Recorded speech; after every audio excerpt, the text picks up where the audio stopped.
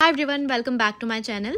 Today we are going to solve another super interesting SQL problem that actually combines the concepts of SQL with the concepts of probability and stats. So the problem is based on real A-B testing data and we'll be calculating conversion rates and later on we'll be filtering users based on their variance performance.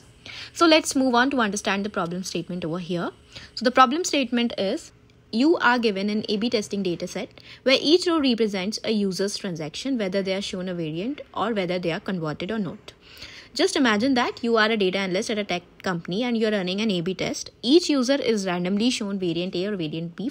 So these variants could could be either different landing page design. So after seeing it, the user uh, the user may or may not convert, meaning they might sign up or make a purchase now what is what you need to do over here is that your task is to calculate the conversion rate for each variant and list users who had a higher probability of converting based on their variant compared to the overall average conversion rate.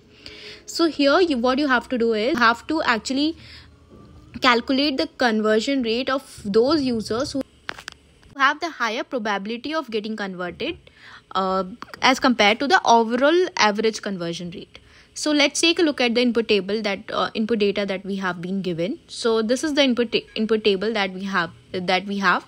Here it contains three columns user id variant and the converted. So what is the user id user id is nothing but the unique identifier for the user. Variant is nothing but the version of the product the user saw. It could be a or it could be b. Next the third column that we have is the converted. If the user got converted one denotes yes. If the user did not did not get converted zero denotes no. So that's all about the input uh, table input data that we have. Now our goal is to return the list of users who are part of a variant that actually performed better than the overall average. So basically to actually get this a goal first of all what we'll be doing is we'll first calculate the overall average conversion rate across all the users. Next we'll calculate the conversion rate for each variant. It could be uh, for variant a as well as for the variant b. Then at last we will simply return the list of users who are part of a variant that actually perform better than the overall average. So let's take a look at the input table and the output table explanation. So let's so let's now see how the output has been derived from this input table so first of all first of all that being said that what we'll be doing is so we'll be first calculating the overall conversion rate. And since to calculate the overall conversion rate we, we have a formula that is the total conversions divided by the total number of users. Now as from the input table we can see that there are total users there are 8 users in total. And the total conversions that have been made are 5 that that is actually done by the users 1 3 5 6 and 7 so basically the overall conversion rate would come out to be 5 divided by 8 which is the total conversions divided by total number of users and it will come out to be 0.625 now what we have to do is we will first we will now calculate the conversion rate by each variant. So we, we, so for the variant a so so since there are two variants available so let's calculate for the variant a first. So for the variant a we can see that the number of users are 1 2 3 and 4 out of which 1 and 3 are converted. So there are two two conversions in total and the number of users are 4 so the conversion rate would come out to be 2 divided by 4 which which will be around 0.5 Next, let's calculate for the variant B. Again, for the variant uh, now for the variant B, we have the number of users as 5, 6, 7, 8. And the converted users out of this are 5, 6, and 7. And we can see there are 3 conversions out of 4 users. So the conversion rate would be 3 divided by 4 and it, it would come out to be 0.75. And since in the question we were supposed to only display the details of those users that that have the that have the higher conversion rate as compared to the average conversion rate and that that's for the uh, that's for the users having variant b. So that's why in the output we are displaying only the details of the users having the variant b as well as their uh, conversion rate. Let's now discuss the problem solving approach to solve this problem so first step towards solving the problem would be to understand what needs to be calculated. So here we you you need to ask yourself what what do what do you we, we need to calculate overall.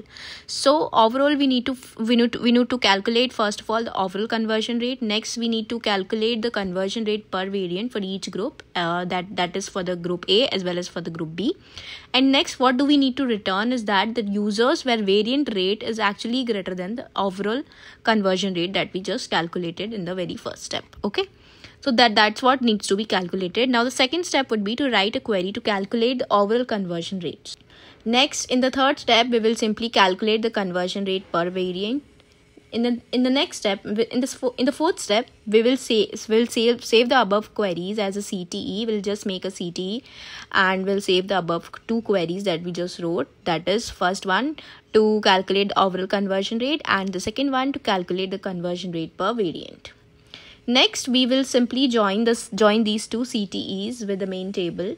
And at last we'll simply uh, will simply add the filter logic where the variant conversion rate has to be greater than the overall conversion rate. And that that's what we, we are going to display the details of only those users. So that's how we are going to approach this problem. So let's now move on to write the sql query in mysql workbench so as you can see my workbench interface over here you can see my input table ab test table has already been displayed over here so now i'll write a query so first of all, our first step was to actually understand what needs to be calculated and we already know that. So as we know, we need to return the users having uh, users that have the greater variant rate as compared to the overall conversion rate. Okay. So first of all, to do that, we'll write a query to calculate the overall conversion rate. So to do that, I'll simply write my query. So I'll end the first query with the semicolon. Now, just I, I have started my uh, second query. So here select and it would be from my A-B test table. And what is that I want to retrieve over here is that I want to find the sum of converted converted divided by count because count star count star it would be. Why? Because uh, our we had a formula that the total that the overall conversion rate would equal to be the total converted users. So that is what we did. Sum of converted users divided by the total number of users. So count star will actually give me the total number of users and as it is my overall conversion conversion rate okay so if I just run this query, what I will get is, so as you can see, I've got my overall conversion rate as 0.6250. Okay. Now, now what, what, now the second step was to calculate the conversion rate per, per variant. So I'll write another query to actually calculate the conversion rate per variant. So select from A-B test. Now what do I need to what what columns uh, do I want to display over here is I want to display the variant as well as the variant conversion rate and the variant conversion rate would so for each variant so for each variant since we want to display for each variant so we will actually make use of the group by clause over here and we'll write group by group by variant so what it will do is it will it, we will group the table by variant to calculate the conversion rate within each group. So and now I just want to find my variant conversion rate that is having the same formula that is nothing but the sum of this sum of converted divided by sum of one second sum of converted divided by count star as my variant variant conversion rate. Okay? So that's going to be that's going to calculate the conversion rate for each variant. So if i run this query as you can see here it has actually converted it has actually uh, actually calculated the variant conversion rate for each variant since we have done we have applied the group by clause on the variant now now what we want to do is we want to save these two queries uh, as CTEs. Now we'll store both the results using CTE, which is nothing but the temporary named results set. So I'm just writing with, I will just give the CTE name as overall, let's say, overall. And okay, so this is one CTE that I have just created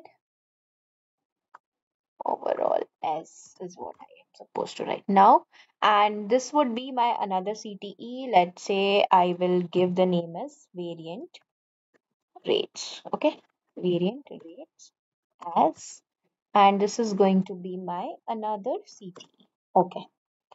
Now, now, now, now, since I have created uh, now since as as you can see this I have actually saved these queries at CT. Now my next step was uh was to join these CTs with the main table. Now what I will do is I will simply uh, so now we just want to add both the variance conversion rate based on the user's variant and the overall rate which is same for everyone.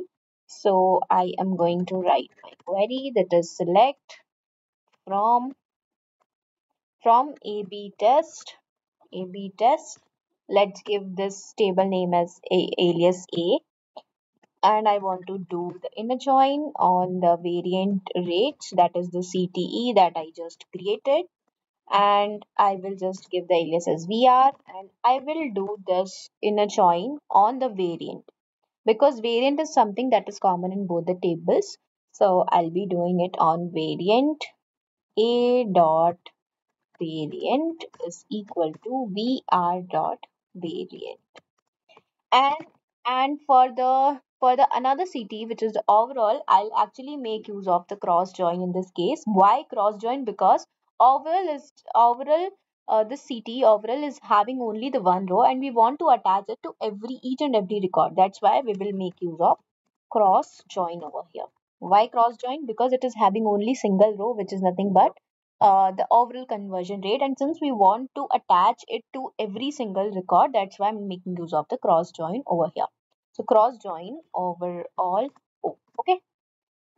Now whatever the columns that I want to display I'll simply write over here. So the first of all I want to display the user ID which is from my A which is one second AB test table. And then I want to display the variant from my A-B test table itself. Third, I want to display my variant conversion rate. I'm just simply writing the columns that that uh, that was shown in my output. User ID, variant, then then there was variant conversion rate and there was overall conversion rate. So here it's going to be variant conversion rate that we actually calculated from the variant from this uh, variant rate CTE. And next we had one more column which was O dot overall conversion rate which will come out from overall CTE table. Sorry, conversion. Sorry, conversion rate. Okay.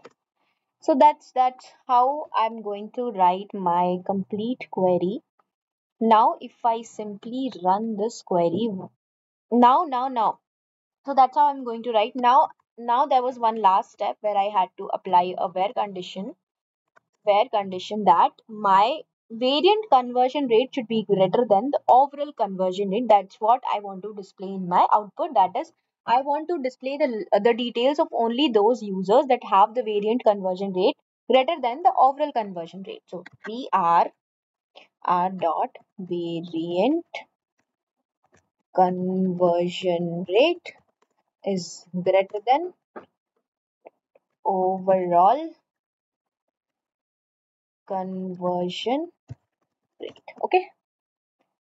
Now, if I simply run this query, what I will be getting now I as I run this query what I got is I've got my expected output so this shows that uh, it has only so uh, so this output is exactly the same as the expected output that we had. It is only displaying the user details of the variant b uh, because the variant conversion rate of variant b is actually greater than the overall conversion rate that is 0.75 is greater than 0.6 so i'll quickly explain what we did. First of all we'll actually calculated the overall conversion rate and we'll wrap that into a cte given the cte name is overall Secondly, we have created another CTE to calculate the variant conversion rates for uh, conversion rates for each variant. That's uh, that's again we have uh, wrapped into another CTE. Next, next what we did is we have simply joined uh, our main table with the with the above CTEs, and for for the for the overall uh, CT we have made use of cross join because it had only one column, and since we wanted and since since we wanted it to uh, since we wanted it to attach it to every single record, that's why we made use of the cross join. At last, we have added a filter logic to only return the users where variant conversion rate is greater than the overall conversion rate, and that's how we have got our output. So I hope you're clear with the explanation. Let me know in the comment section if you need any any further details or any any doubts that you have. Please let me know in the comment section so that I can resolve your queries. I hope you you understood you understood the solution. Let me know if you need more such videos, more such tutorials. So yeah, thank you everyone for watching the video. Uh, do like do like the video and subscribe to my channel for more such SQL questions. Thank you.